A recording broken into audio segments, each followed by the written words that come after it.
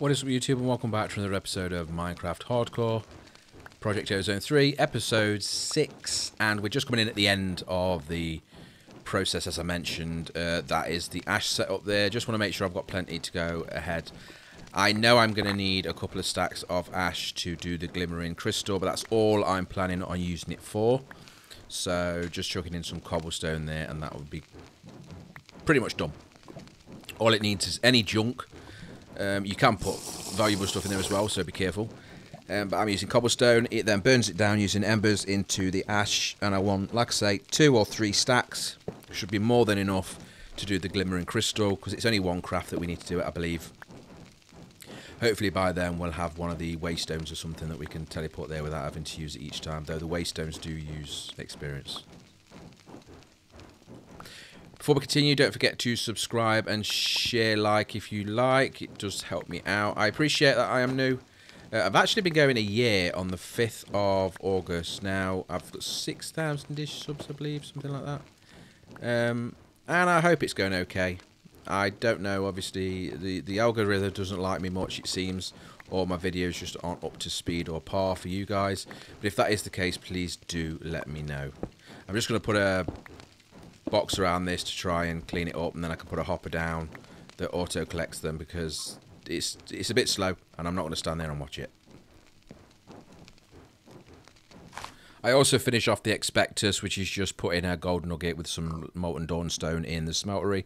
Nice and simple, just to finish off that quest. Uh, I don't know. Yes, I will need them again when I do the glimmer glimmering crystal later on. But for now, we're good to move on. So I've managed to get some hemp seeds, and I'm going to start multiplying those. I was going to do crop sticks and breed them up, but I thought there's no point. All I need to do is let them grow, break them to get extra seeds, and build up. I want crop. I want the hemp because I want to make the hemp into the cloth, and then the cloth into the windmills for power. So my main sort of early game power, and that's electricity power, I want to do with a water wheel from Immersive Engineering, which is just treated wood. Um, and then probably two or three of those and a bit of water will give us probably sort of 10 to 15 RF a tick. Um, and then from there, we'll get into the windmills, which requires a lot of hemp. Still treated wood, but a lot of hemp. And I mean a lot of hemp. Uh, you then make the windmills and set those up. You can then upgrade the windmills to have sails using even more hemp. So that's why I'm making sure to get as much hemp as possible. Uh, putting down grass with the hoe and then using that to gather it to try and make sure I've got as many seeds as possible. Also, it doesn't hurt to have other seeds. Um, so for now, this little water source and a bit of a farm just in case I want to grow the odd thing, including carrots. Um, as I said, that is a quest in itself. Not too difficult. You grow the carrots, then you have to grow them on ores, which we won't really be having ores until uh, I think probably the nether, where you collect the nether ores and then you can cut them into the normal ores. Uh, and then after that, you grow them on the solid block. So you grow the carrots on like a diamond block and you get the high-end carrot. Not sure if I'll use them. I'm pretty confident that unless there's the top-end carrot, which I think is called a 48 carrot, carrot. Yeah, lots of carrots. Um, they're probably better than the notch apples, the gold block apples, but they require nether stars, I think, so that's a bit excessive. So let's do our trusty friend, which is the engineer's hammer, and we're doing a, immersive engineering next. The first thing really in immersive engineering you would build, I would expect, is the coke oven. The coke oven turns wood into charcoal and gives you creosote. The charcoal is then used eventually in the furnace to make steel from iron and the creosote is used to turn wood into treated wood which is where a lot of the items that we require are needed for for the windmills for the water wheels for the power basically uh, and anything sort of immersive engineering ish as a mod So a lot of clay later. We now have the 27 blocks, three layers of nine that you require. So you just build them three by three, nice and simple, and then right click in the center of where you want the face of the multi-block to be. And that is a coke oven. So all we have to do now is feed it wood. And that's not planks, I don't believe it. It's just literally the wood. There we go. That will turn it into charcoal and creosote. Now it is a bit slow. Um, so I say it's slow. It's slow when you first want it, but then once you set it up and you leave it alone, all of a sudden you realise that you've got too much creosote, or at least that's what happens to me. The creosote is a liquid, so make sure you can get a tank or two as soon as possible to try and keep it from stopping because as soon as the creosote is full or it's full with charcoal, it will stop. And it's another machine that you can quite easily automate. The furnace, on the other hand, isn't. You can't automate the first version. You can only automate the blast furnace, but we're a bit away from that as yet, so I wouldn't worry too much. Uh, just going through the chest, look for anything that's rubbish that I can probably bin. And by bin, I mean, of course, throw it into the abyss of space. In the background, you can see where I've put it, and obviously all of the embers items have been broken down, including the lava pit that was around that copper block, which is why you saw lava there dissipating into the void. None of the buildings, you can see there in my inventory, none of them have been deleted or thrown away. All of them are being saved just in case. We will need them in the future for the glimmering crystal, but for now, uh, I need the space for more permanent things like what's going to be on that platform is the coke oven, the furnace for steel, and of course then the smeltery. Uh, once we get there or get that built, the smeltery will be moved there as well because it's going to be a lot larger than that small one you can see there on the left. That's technically only one block high, so it only just like six at a time, but it's working and it works.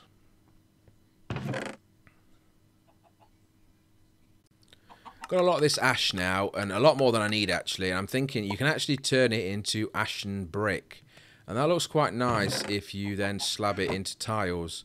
So I'm wondering about getting. I'm gonna. I'm getting very close to doing quite a large.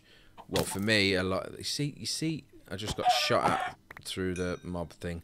Um, quite a large change to the base, and that is that I'm going to rip up these. The tiles will probably stay the same, but I want to do some sort of something along the lines of the the chunks, and I'm likely going to use that ashen brick as the outline, so that it's these smooth tiles all over, and then they're surrounded by the ashen brick to show the grid, and we'll see how that looks. Comments are always welcome. Ideas are also welcome. Uh, I've never really had to build for other people before, so you'll have to bear with me. But we'll get there. Also, instead of having an overly complicated like cross pattern with different like different patterns, these little islands on the end, I'd rather just build out the whole thing and make it one big nice platform that I can have different areas of um, so there's no random gaps or wasted space in between as long as I've got the resources to do it.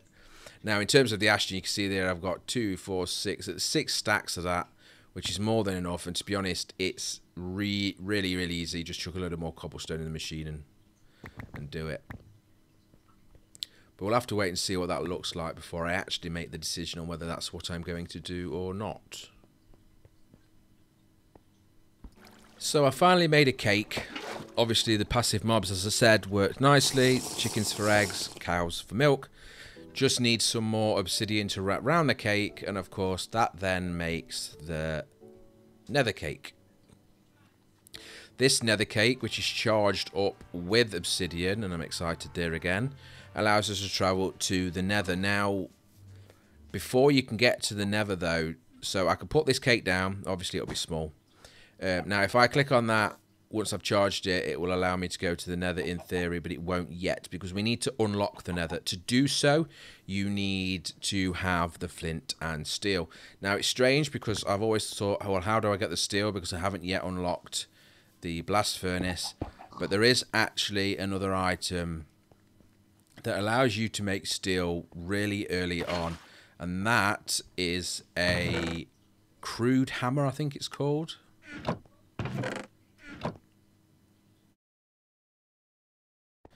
The first thing you need to make is hardened stone. So clay, sand, iron, stone. That makes hardened stone, as you can see there on that recipe. It makes four of.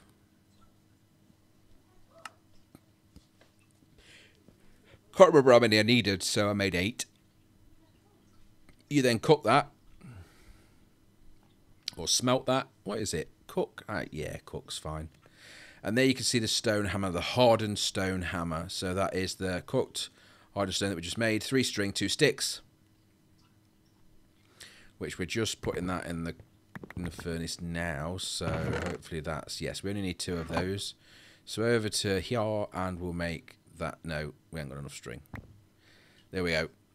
So over here we can make that. Now with that hammer, all we need is iron.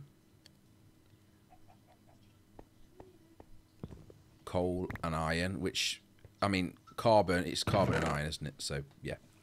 Um, carbon and iron with the sti with the with this new stone hammer, and we should get steel. If I can remember the recipe, and there it is. Six coal, two iron makes two steel. We now have steel. So one steel and one flint makes the steel and flint. Obviously, the recipe's change because normally it's just iron, right? But in the expert packs, it's always actually steel. Mix those two together. That will make that, and nether is unlocked. Now we can use the cake and travel to the nether. We have our sword. You've got to be careful these aren't demon cows. We have our sword, uh, our apples, food, various other things. I think the first thing to do when you go to the netherite is to make sure that you are prepared. Also, just to get there, load it, see where you actually spawn into, and then have a look around for probably building yourself a bit of a wall around it. Um, it's not as, or at least this time, it's not as dangerous as when we went to, or when I go into the hunting dimension, because that's just swarming with mobs, of course, because that's what it's for. But you could get spawned into a really dangerous place with lava and all sorts of things happening, or even nether brick that's on fire that never goes out. So it's always a good idea to uh, be prepared. And the reason I mentioned being prepared is because I wasn't. I took the cake, the overworld cake, but when you put it down, it's not charged, and to charge it, you need saplings, overworld saplings, and I didn't have any. So what I had to do, like an idiot, was kill things until I got the loot bags. Uh, within the loot bags, I finally got some saplings. I used the saplings to charge the overworld cake, and now I've finally made my way back home. So it took a whole like in-game day of just killing random stuff. Obviously not touching the pigmen because then they'll have all attacked me. So farming spy spiders mainly and opening loot bags, which is why you saw all of that loot extra that I had was just I was chucking it on the floor because I couldn't find any lava to chuck it in. And you can see there's more loot bags here. Now there are these um, enchanted tablets of home that would have worked as well, but I'm not sure if they actually take me to the respawn point here as in my home base, or the respawn point of the dimension that you're in. But nevertheless, it doesn't matter because I was, I knew that I could get saplings from uh, loot bags and the the low level loot bags as well. So it's not like they're actually rare. Um, I think it took five. I think it was the fifth one I opened. I got um, a sapling. But we're back now, and now I know that when I go back to take a load of saplings with me, but we also have the the waystones now, which use three levels of experience, and you can trans uh, teleport backwards and forwards as you wish. Uh, later on, of course, we'll have proper teleporters that it will be infinite for us, with some I can't remember draconium stuff that allows you to teleport quite easily. If we even need to go there, because other than cobalt and ardite to make the purple stuff, um, I'm not too worried. Plus, now we've got so much the the, the netherrack itself, and we can of course smash that with a hammer and sieve it. We can get all of that without even going back there. So, two birds, one stone. But at least we've unlocked it. We've got it. We know that our teleport through to that is reasonably safe, um, and we now have another dimension unlocked. Now, of course, for the automation of the sieving setup, I have by now, of course, managed to get the odd end uh, pearl, which means I can make this advanced collector, which isn't too expensive once you've got ender pearls. It's also very good because it doesn't necessarily let the items load, it instantly just catches them to save on lag. This means now when the sieve works, anything that it shakes out will be collected regardless of where it lands within 10 blocks of itself. They will then go into the chests. It'll be a lot cleaner, we won't be wasting any resources, and we can obviously ramp up the volume going through it now. You can see that we have a lot of these items that we need to combine. Obviously, this dust stuff you need to do two by two to make four to make a chunk. The chunk then turns into an ingot or can be doubled if you use a smeltery or any other doubling process, to be honest, including furnaces with the upgrades. Um, but that's becoming a bit monotonous as well. I want to be able to automate that as well soon. Um, and then once it's automated so they turn into chunks, it's then very easy using pipes or hoppers to pump them straight in, the chunk straight into a furnace and we basically we've automated the sifting all the way through to an actual ingot.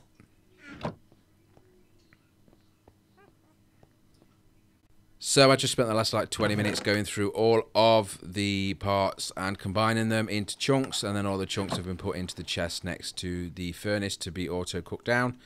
Uh, that allows the sieve to continue to run and it's got an empty chest to of course put all those things in just throwing away a bit of garbage that I was left over because it's getting a bit messy. You can see now the furnace is going to just go through all of them chunks and there's lots of them. Cut them down into their respective ingot put them in the chest at the bottom and then when I've get a chance I can shove them into our storage. Again another massive dose of resources to the team. Now, this is why we couldn't do the furnace up until now, because we needed nether brick, which is netherracked cooked. We now have that. So, netherrack cooked into nether brick and clay cooked into brick.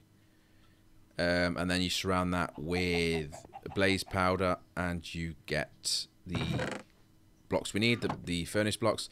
Need 27 as before three levels of nine, and then you click in the center, and it makes you your furnace.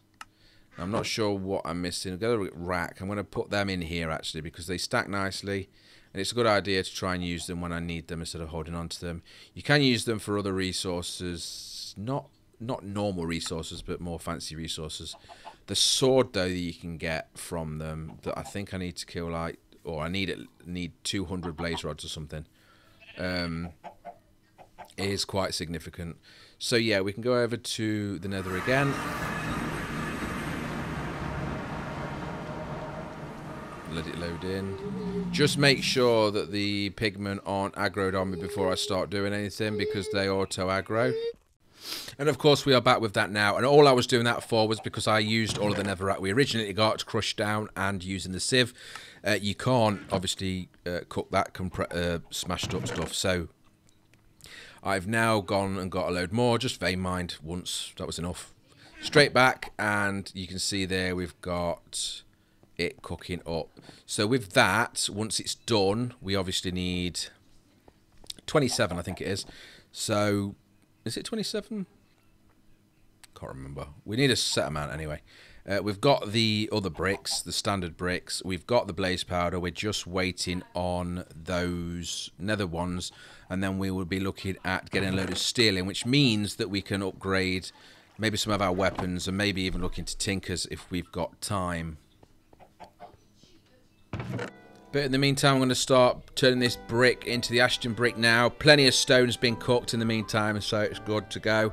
We can then compress it down into the tile-looking things and look like the final stage that I mentioned, where I'm going to hopefully use the checkered base to um, match the chunks.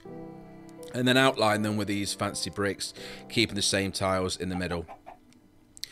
That will be quite a lot of work for me, and we'll skip to that for the next episode, so please don't forget to subscribe to come back to that. Thank you very much for watching. If you like the video, please click like and the comments are welcome. As always, like if you like. Take care. Goodbye.